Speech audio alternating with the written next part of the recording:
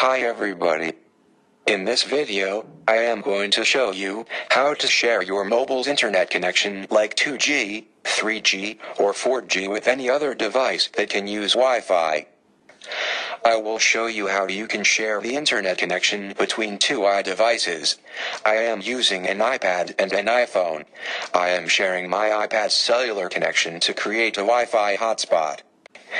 Please bear in mind that you cannot use this feature whilst you are using Wi-Fi on a sharing device. So better turn off your Wi-Fi.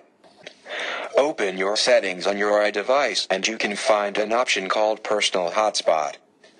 Turn on cellular data on your device to use this feature. Now set up a password for your new hotspot connection and the turn on personal hotspot feature. The name of your Wi-Fi connection would be the name of your device. Turn on Wi-Fi and search for available wireless networks on the receiving device. It is iPhone in my case. As you can see, the iPhone has detected a new Wi-Fi connection named iPad. So you click on that and enter the password which you set up. That's it friends. This is a very easy option. You can ask your friend to set up hotspot on his phone when you don't have access to Wi-Fi or mobile internet connection.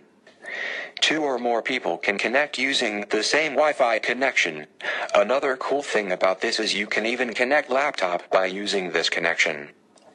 If you have any problem using this feature please comment on the video so that we can get back to you. Thanks for watching this video.